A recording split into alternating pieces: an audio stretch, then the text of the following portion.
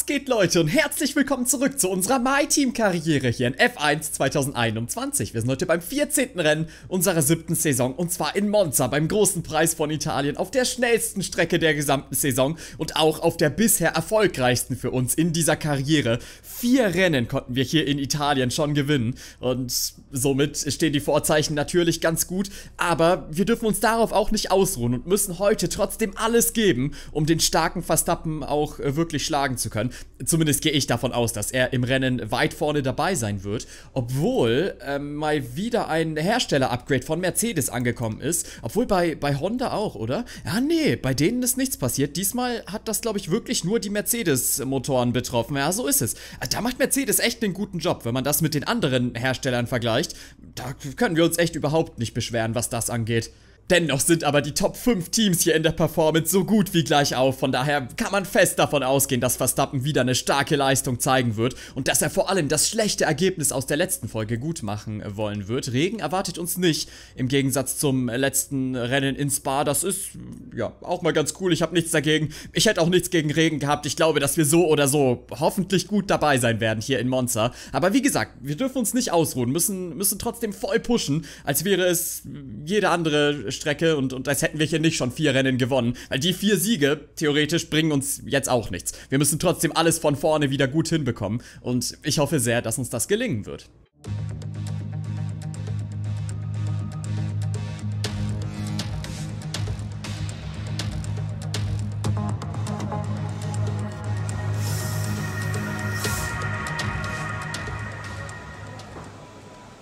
Oh, ein Fehler an der Bremsanlage und das ausgerechnet hier. Äh, das müssen unsere Jungs auf jeden Fall fixen, sonst wird das eher schwierig.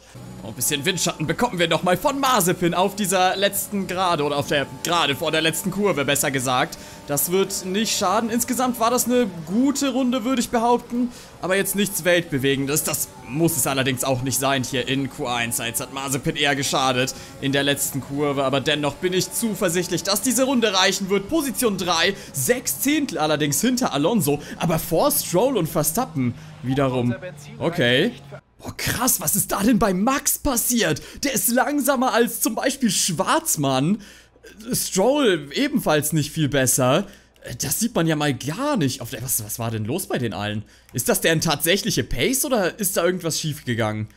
Scheinbar ist das deren wirkliche Pace. Verstappen konnte sich nochmal verbessern, hat Schwarzmann immerhin geschlagen, aber für viel mehr als das hat es nicht gereicht. Er war sogar zeitgleich mit dem Russen, wird hier aber vor ihm gelistet. Starke Runde aber von Schwarzmann, ne? Alter, Platz 10, wow. Das sieht man echt nicht häufig, das habe ich gerade gar nicht realisiert. Aber das ist eine mega Leistung vom, äh, vom Russen. Schumi auch ganz stark hier in seinem Wohnzimmer. Das freut mich mega und ich hoffe, dass er vielleicht ein Podium einfahren kann hier in Monza. Das wäre einfach nur genial und auch für die Konstrukteurs-WM natürlich cool. Sainz aktuell vorne für Ferrari mit einer 17.4. Wie nah können wir da rankommen? Oder können wir sogar schneller sein? Ich weiß es nicht. Lila war kein Sektor, von daher gehe ich nicht davon aus, dass das ganz für die Spitze reicht. Hoffentlich wird der Rückstand aber zumindest ein bisschen kleiner. Boah, nee, das ist schon viel. Sieben Zehntel fehlen uns, glaube ich, auf Zunoda, der jetzt zwischenzeitlich vorne ist. Mittlerweile konnten alle eine fliegende Runde setzen hier in Q2 und wir sind auf dem achten Platz innerhalb der Top 10, was ja reichen würde, um weiterzukommen. Allerdings gefällt mir dieser Rückstand auf die Spitze gar nicht. Aber das, was, das ist das, was ich vorhin meinte. Die vier Siege, die wir in Monza haben, die bringen gar nichts. Wir müssen uns hier neu unter Beweis stellen in diesem Jahr und das scheint schwieriger denn je zu werden, denn äh, bislang ist die Pace nicht so ganz da und das, obwohl ich die Runden eigentlich ganz okay fand. Die hatten jetzt alle keine Riesenfehler oder sowas. Die Red Bulls scheinen hier wirklich wirklich ernsthafte Probleme zu haben. Verstappen nur 11. Stroll nur 9. Schumi auf der 10 mit einem lila Mittelsektor, aber interessanterweise. Ja, krass. Äh, wir müssen definitiv aber nochmal rausfahren, würde ich behaupten. Das ist hier ein bisschen zu heikel. Oh, oh, hoffentlich war das hier nicht unsere letzte Runde in diesem Qualifying. Es konnten sich nochmal einige verbessern und wir sind nur auf Position 11, sind allerdings schneller unterwegs als auf unserer ersten Runde Parabolika nochmal gut mitnehmen. Ja, das war richtig gut. Etwa vier Zehntel konnten wir da nochmal finden. Das sollte reichen, um uns in die Top 10 zu bringen. Aber da, oh ja, Platz 4 sogar. Das war direkt ein guter Sprung, aber vielleicht war das nicht. Mit dieser Verbesserung haben wir Lance Stroll hier aus dem Qualifying gekickt. Schumi schafft es auch nicht weiter. Nach seiner so starken Leistung vorhin in Q1. Also das ist echt verwunderlich. Verstappen konnte sich nochmal retten. Ja, das ist vielleicht so ein bisschen die Klasse in Anführungszeichen von Verstappen und von uns, dass wir es meistens schaffen, noch irgendwie was zu finden, wenn es drauf ankommt. Und äh, ja, das, das ist halt das Entscheidende. Max auf einmal auch gar nicht mehr so weit weg von uns und von der Spitze. Also es ist noch alles drin hier an diesem Wochenende. Aber das wird kein Selbst Selbstläufer, absolut nicht. Es sind sehr viele Fahrer, sehr schnell, das wird unfassbar umkämpft. Und es muss eine perfekte Runde her in Q3, um auch nur im Ansatz eine Chance auf die Pole zu haben. Ganz okay erste Runde, aber fehlerfrei war die nicht und das wird somit dann wahrscheinlich auch nicht reichen, um uns ganz vorne hinzubringen. Zumindest nicht nach diesem ersten Run, aber wir haben gleich noch eine Runde auf frischen Softreifen, von daher ist alles in Ordnung. Aber das reicht nicht. Damit ist sogar Verstappen vor uns, der ja echt Probleme hatte an diesem Wochenende.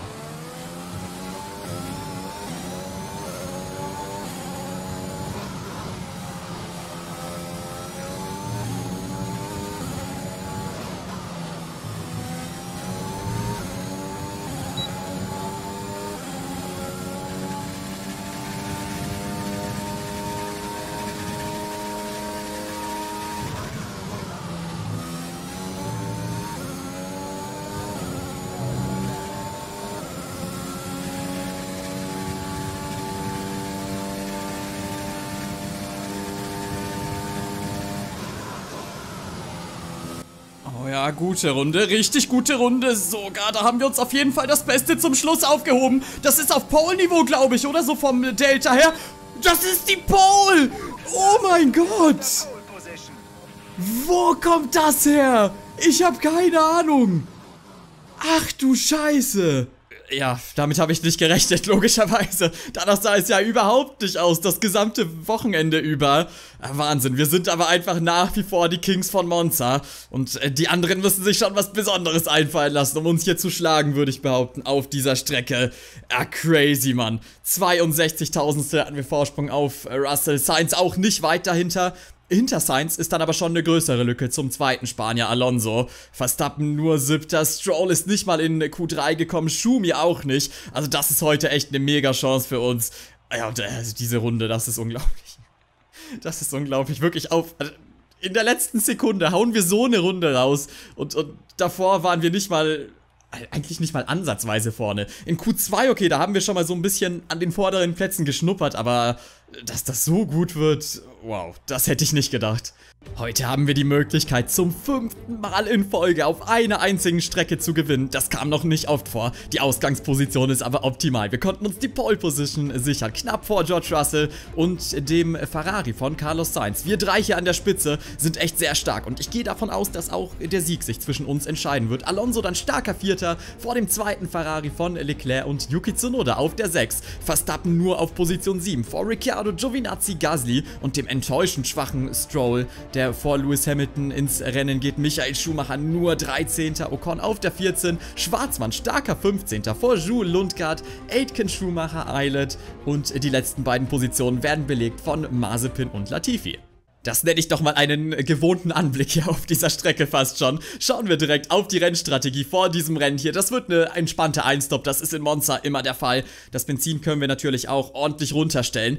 Ich gehe nicht davon aus, dass das ein entspanntes Rennen für uns wird. Ich glaube schon, dass es hart umkämpft sein wird. Die Abstände sind unfassbar gering. Überholen ist perfekt möglich hier auf dieser Strecke. Das ist vielleicht, was das angeht, sogar die beste Strecke der gesamten Saison. Durch die vielen langen Geraden einfach, da kann man perfekt sich an jemanden ransaugen und vorbeischießen, wenn man wirklich schnell schneller ist. Also, wir werden es nicht leicht haben. Ich werde aber versuchen, alles zu geben, um hier heute ganz, ganz wichtige Punkte zu holen im Kampf um unseren zweiten äh, WM-Titel. Alle unsere Kontrahenten sind eigentlich weit hinten und somit ja, ist das heute echt eine Chance, um, um richtig viel äh, gut zu machen in der WM. Ich hoffe, dass wir sie nutzen können. Let's go!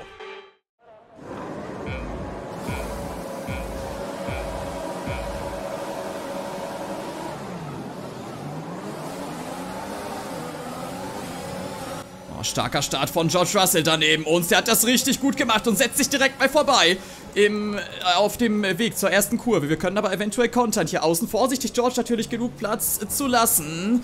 Ah, er setzt sich aber durchaus und hat den etwas besseren Ausgang bekommen aus der ersten Schikane. Das ist nicht optimal. Ich hätte schon gerne diese Pole Position direkt verteidigt. Vielleicht können wir uns den ersten Platz aber wiederholen in die zweite Schikane hinein. Jetzt gegen Russell spät anbremsen. Vorsichtig mit dem Curb hier in. Der ist ziemlich brutal. Das ist ganz, ganz langsam. Aber wir sichern uns die Führung wieder. Sehr, sehr gut. Kein optimaler Start, aber wir konnten direkt kontern. Das ist ja auch schon mal was. Die äh, drei Favoriten sind hier aber an der Spitze geblieben. Also wir, Russell und Sainz. Wir waren im Qualifying die stärksten. Und ich kann mir gut vorstellen, dass wir uns auch im Rennen jetzt so ein bisschen absetzen können. Wir haben aber den ersten Platz inne.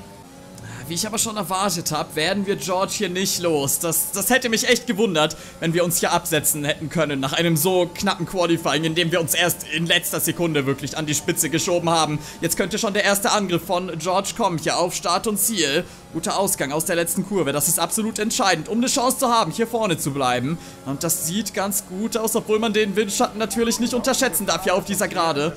Und das DRS ebenfalls nicht. Russell holt sich den Windschatten aber nicht mal so richtig hier innen. Ja gut, dann wird das natürlich easy, vorne zu bleiben. Oh, spät gebremst jetzt aber. Ja, solche Fehler müssen wir vermeiden heute.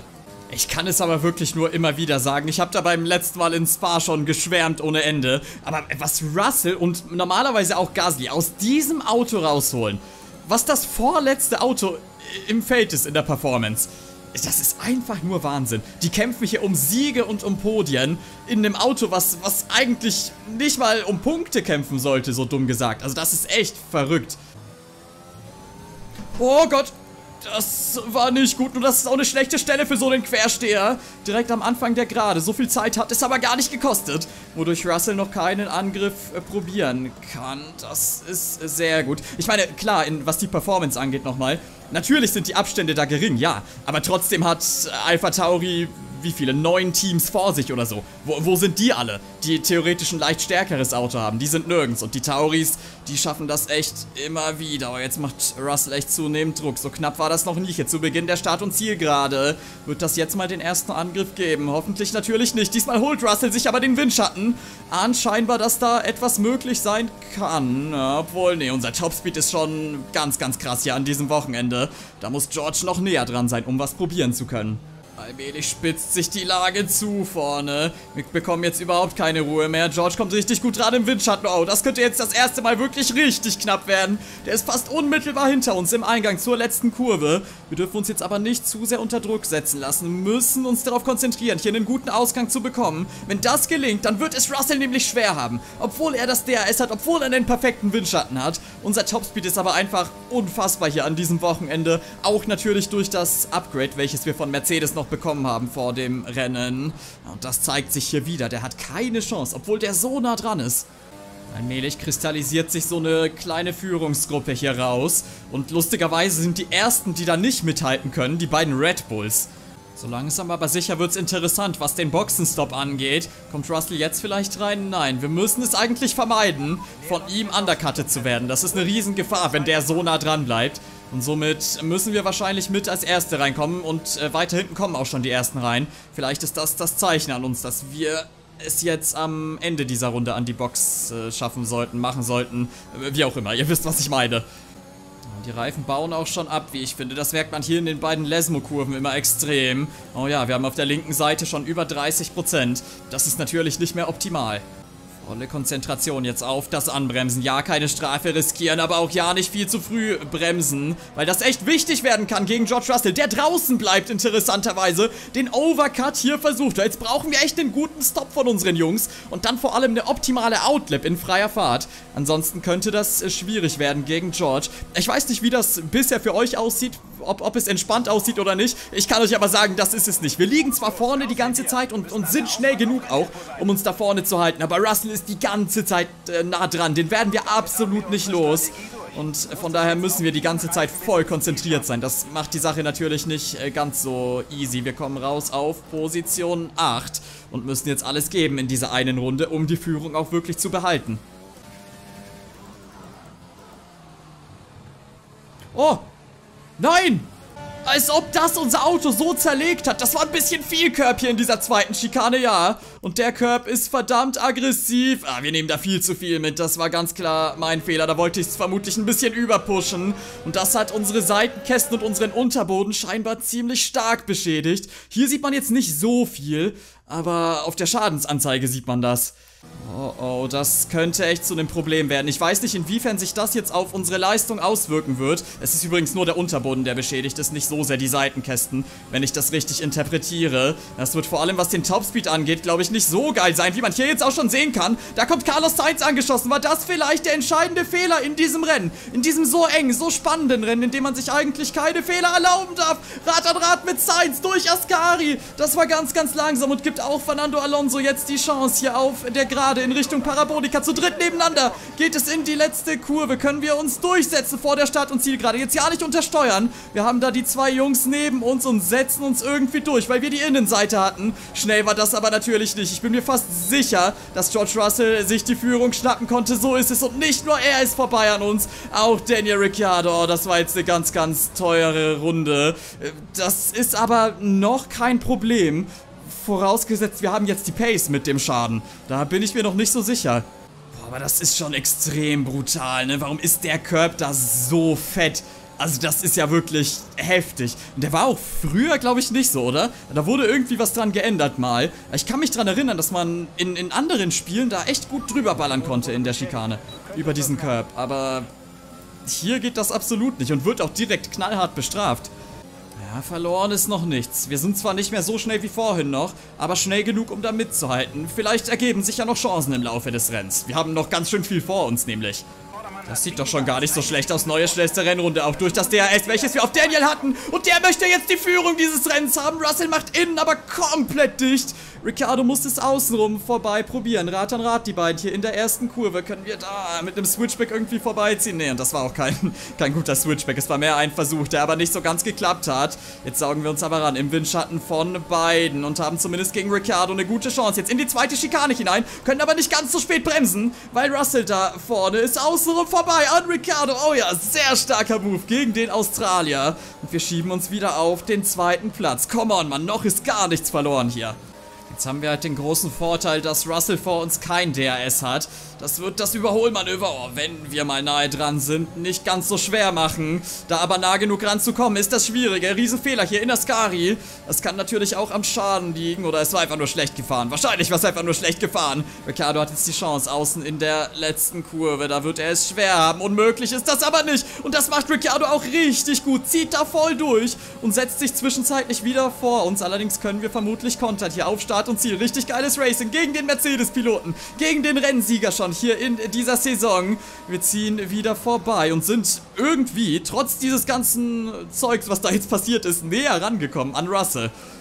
Oh, ich traue mich jetzt aber gar nichts mehr hier in dieser Schikane. Das war am gesamten Wochenende schon schwierig, auch im Qualifying. Aber jetzt, da wir gesehen haben, wie hart das bestraft werden kann, wenn man da mal drüber räubert über die Curbs. Jetzt, oh, jetzt ist mein Selbstvertrauen da komplett weg. Und das Rennen auch fast riesen, riesen Fehler am Ausgang aus der zweiten Lesmo-Kurve. Und wir sind noch irgendwie im Rennen. Ich wage einfach mal zu behaupten, dass das vielleicht so eine Folge des Unterbodenschadens ist. Das Auto ist viel unkontrollierbarer, wie ich finde. Es ist zwar schnell, wenn man es gut hinbekommt, aber es ist nicht so leicht, es gut hinzubekommen wie davor noch, wenn ihr versteht. Und dann ja, bricht das Auto schon auch gut und gerne mal aus am Ausgang aus so einer entscheidenden Kurve. Und das äh, war es auch noch nicht ganz vermutlich an Plätzen, die wir verloren haben. Da hinten kommt nämlich Fernando Alonso an, der viel, viel besser rausgekommen ist auf die Gerade. Die Strecke ist an dieser Stelle aber eigentlich nicht breit genug für drei Autos und somit bekommt Fernando da keine Chance. Dennoch haben wir aber zwei Positionen verloren, sind jetzt erstmals in diesem Rennen nicht auf dem Podium was natürlich nicht optimal ist. Vielleicht können wir uns aber zumindest den dritten Platz wieder schnappen gegen Ricardo, der sich hier nicht entscheidend absetzen konnte innerhalb der wenigen Kurven, in denen er jetzt vor uns war. Rad an Rad mal wieder so halb mit dem Australier in der letzten Kurve. Das ist schon geiles Racing. Dafür ist Monza eigentlich bekannt, dass man hier unfassbar gute Duelle haben kann auf diesen langen Geraden. Und von denen bekommen wir auf jeden Fall einige hier in diesem Rennen. Ja, und nach wie vor sind wir noch dabei im Kampf um den Sieg. Das ist eigentlich unfassbar nach all dem Zeug, was uns schon widerfahren ist. Aber die Chance ist immer noch da und wir haben auch noch genügend Runden, um da wieder ranzukommen. Müssen jetzt aber erstmal ein bisschen Ruhe reinbekommen. Das Problem ist, dass wir gar keine Ruhe reinbekommen können, wenn Ricciardo hier so nah dran ist und äh, ständig irgendwelche Angriffe fährt. Wir saugen uns ganz gut dran an Sainz. Ich weiß nicht, ob er das DRS haben wird auf Russell. Vermutlich aber nicht, ne? Eigentlich nicht, wenn man sich da den Rückstand anschaut. Somit wird das jetzt ein ziemlich leichter Move hier auf Start und Ziel, würde ich vermuten. Wir sind sehr nah dran, haben einen viel besseren Topspeed ohnehin schon. Und dann kommt auch noch der Windschatten und das DRS dazu. Ja, da kann Sainz überhaupt nichts machen hier bei Ferraris Heimrennen. Jetzt sind wir auf einmal doch wieder in Schlagdistanz von Russell. Come on, Mann, wir können das Ding noch gewinnen.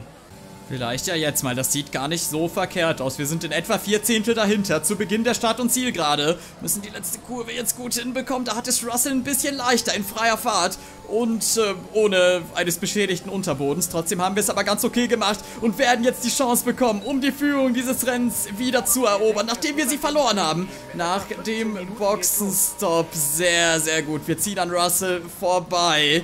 Aber das heißt noch nichts. Wir waren schon mal vorne hier in diesem Rennen und haben es dann so ein bisschen weggeschmissen durch den Fehler auf der Outlap. Das darf jetzt nicht nochmal passieren. Russell wird aber mit Sicherheit nicht locker lassen. Da bin ich ganz fest überzeugt von. Das haben wir im ersten Stint ja schon feststellen müssen.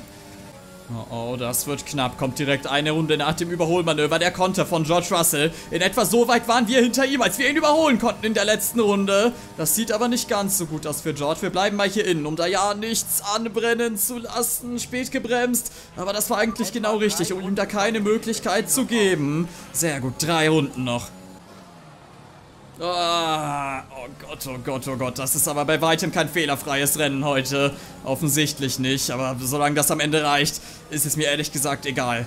Es sieht wieder nicht so verkehrt aus für Russell. Wir beginnen die 26. von 27 Runden in diesem Rennen. Er ist zwar nah dran, ähnlich wie vorhin. Diesmal verteidigen wir aber nicht. Das war nämlich vorhin fast ein bisschen unnötig, während wir weiter hinten im Feld eine gelbe Flagge haben. Da ist jemand abgeflogen in Ascari, oder? Und zwar einer der beiden Aston Martin Piloten. Entweder Latifi, mit dem wir onboard sind, oder sein relativ neuer Teamkollege Lundgaard weiter vorne. Es ist Latifi. Und da hat er echt Glück, noch im Rennen zu sein. Oh oh, in dieser Position waren wir doch schon mal hier in Monza. In dieser Karriere haben wir einmal fast in der letzten Kurve des Rennens den Sieg an Verstappen verloren. Und einmal haben wir ihn sogar verloren in dieser letzten Kurve. Das war allerdings damals in F1 2020 noch. Heute müssen wir das äh, besser machen, müssen voll konzentriert sein. Und das Rennen ist wirklich erst vorbei, wenn wir in der nächsten Runde hier an dieser Stelle vorbeikommen. Davor nicht und davor brauchen wir uns hier gar nicht zu feiern, weil wir schon oft genug erlebt haben, dass, das, äh, dass, dass die Feier dann auch schnell vorbei sein kann, wenn man sich zu früh Freud, bringen wir das Ganze hier seriös zu Ende. Es war ein schwieriges, es war ein hart umkämpftes Rennen, so wie ich es erwartet hatte, vor dem, äh, nach dem Qualifying, sorry. Und eigentlich auch schon vor dem Qualifying. Das war klar, dass das hier eine enge Nummer werden würde, auf einer solchen Strecke mit so vielen Autos, die eine ähnliche Pace haben. Es sieht aber so aus, als würden wir uns am Ende durchsetzen, als wäre unsere Pace die beste gewesen. Allerdings dürfen wir uns auch nicht zu sicher fühlen. Russell macht hier Druck, der ist mega schnell gewesen. Am gesamten Wochenende war im Qualifying Rang nicht weit weg, hat im Rennen lange geführt, hat lange echt viel Druck gemacht, zu Beginn schon, als er uns am Start überholen konnte. Und dann auch nach dem Boxenstopp. Er kommt nochmal ran, aber das wird nicht reichen, um sich hier innen äh, vorbei zu bremsen, weil der Bremspunkt auch nicht so stark ist für Ascari. Russell ist aber unfassbar nah dran. Oh Gott, jetzt kommen die Flashbacks so langsam hoch von den äh, letzten Saisons, die wir hier so erlebt haben. Von den letzten Enttäuschungen, die wir erlebt haben hier in Monza. Da kommt Russell ran, wird es probieren in diese letzte Kurve hinein. Wir dürfen nicht zu früh, nicht zu spät bremsen. Bremsen ein bisschen zu spät. Da macht natürlich auch der Unterbodenschaden uns keinen Gefallen. Der tut uns keinen Gefallen. Russell ist neben uns. Oh Gott, was sind das? Das immer für letzte Kurven hier in Monster. Aber wir schaffen es. Oh mein Gott. Ey, das wäre es fast wieder gewesen, ne? Ey, unglaublich, Mann. Was ein Finish. Aber es sind mega wichtige Punkte, Mann. Verstappen war nicht weit vorne, Schumi auch nicht, Stroll auch nicht. Das waren echt ein paar Big Points heute. Willkommen bei der Siegerehrung der besten drei des heutigen Tages. Was haben Sie heute in diesem äußerst schwierigen Rennen bloß für einen Aufwand betreiben müssen?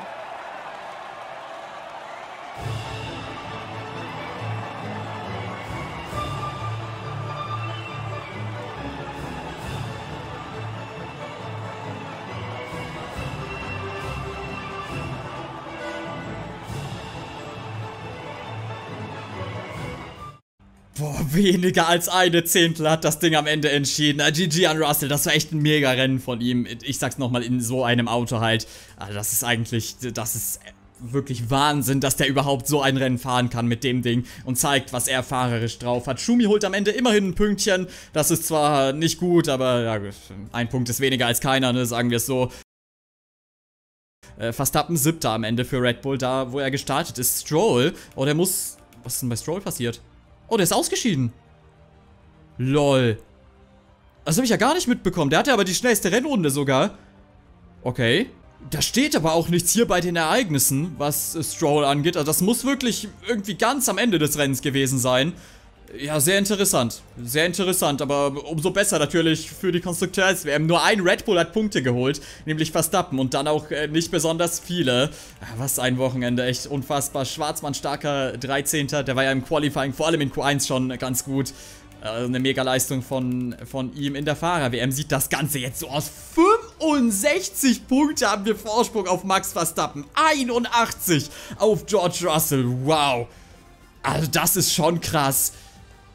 Und, und eigentlich umso heftiger, dass das in so einer Saison der Fall ist. Das hier ist nämlich, also wenn man die Saisons, Saison vergleicht mit unseren letzten und mit den Ergebnissen der letzten Saisons, dann ist das die schlechteste. Wir haben jetzt erst in Anführungszeichen vier Rennen gewonnen von 14 und, und führen die WM aber an mit 65 Punkten Vorsprung. Also das ist echt Wahnsinn, aber ich finde, wir haben uns das verdient, ey. Wie oft sind wir knapp gescheitert am Titel, wie oft hatten wir Pech und jetzt, ja, jetzt, jetzt geht vieles für uns in dieser Saison aber das äh, ja, haben wir uns auch einfach mal verdient. Ich, ich finde das ganz ehrlich so und äh, bin echt froh, dass wir das so souverän anführen können. Aber noch ist der Job natürlich nicht zu Ende gebracht. Noch haben wir hier keine zwei WM-Titel neben unserem Namen stehen. Also da ist noch einiges an Arbeit vor uns und, und da werden auch noch einige Wendungen kommen, ich bin mir sicher. Aber okay, 65 Punkte das ist schon ein guter Vorsprung. Also da, da braucht man jetzt auch gar nichts anderes zu sagen. Und in der Konstrukteurs-WM sind es 72.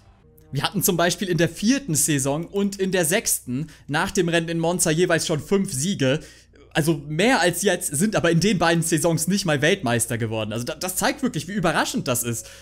Ich finde das auch wirklich überraschend. Wir hatten auch schon drei punktelose Rennen hier in der Saison in Frankreich, Baku und Monaco und, und führen das jetzt an mit über 60 Punkten. Also das ist echt ziemlich surreal. Aber es freut mich mega, wirklich mega. Ich meine, ich möchte es nochmal erwähnen, wie viele Enttäuschungen hatten wir schon in der Saison. Und, und von daher, ja, ist das einfach nur gerecht, dass wir jetzt mal eine Saison haben, in der echt vieles für uns läuft. Auch nicht alles und es ist noch noch nicht vorbei, das ist klar, aber es sieht sehr gut aus. Vielen, vielen Dank fürs Zuschauen jetzt bei dieser Folge der MyTeam-Karriere. Lasst gerne den Daumen hoch da, wenn es euch gefallen hat und dann sehen wir uns hoffentlich beim nächsten Mal wieder in Russland auf einer Strecke, auf der wir in der vergangenen Saison ja gar nicht unterwegs waren. Somit freue ich mich echt, äh, die mal wieder zu sehen und dort äh, zu fahren. Ich hoffe natürlich, dass wir ein weiteres starkes Ergebnis einfahren können. Vielen Dank fürs Zuschauen jetzt und bis zum nächsten Mal. Haut rein!